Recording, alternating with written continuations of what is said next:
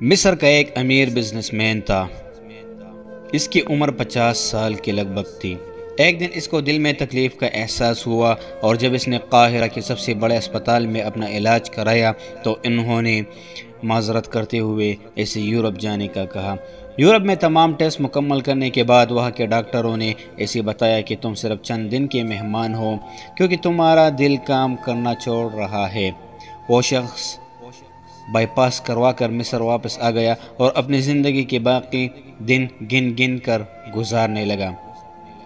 एक दिन वो एक दुकान से गोश्त खरीद रहा था कि जब इसने देखा कि एक औरत कसाई की पेंकी हुई चर्बी के टुकड़ों को जमा कर रही है और शख्स ने औरत से पूछा कि तुम ऐसा क्यों जमा कर रही हो?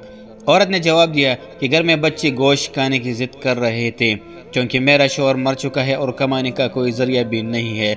इसलिए मैंने बच्चों की ज़िद की बदौलत मजबूर होकर ये कदम उठाया है।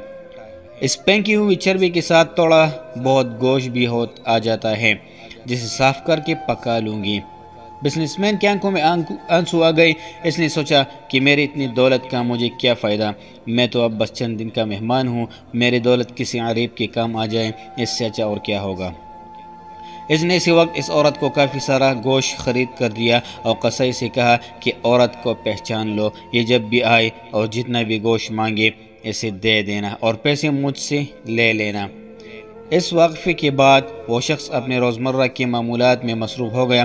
कुछ दिन इसे दिल में किसी तकलीफ़ का एहसास न हुआ तो इसने काहिरा में मौजूद लेबार्ट्री में दोबारा टेस्ट कराए। डॉक्टरों ने बताया कि रिपोर्ट के मुताबिक आपके दिल में कोई मसला नहीं है, लेकिन तसल्ली के लिए आप दोबारा यूरोप में चेकअप करवा आए। वो शख्स दोबारा यूरोप गया और वहाँ टेस्ट कराए। रिपोर्ट्स के मुताबिक इसके दिल में कोई ख़राबी सर से थी ही नहीं। डॉक्टर हैरान रह गए और इससे पूछा कि आपने ऐसा क्या कहा कि आपकी बीमारी जड़ से ख़त्म हो गई है। उसे वो गोश वाली बेवा याद आई।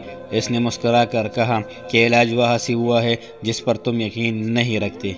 बेशक, मेरे नबी करीम सल्लल्लाहु अलैहि वसल्लम ने सच कहा था कि सबका हर बुला को, हर बला को टालता है।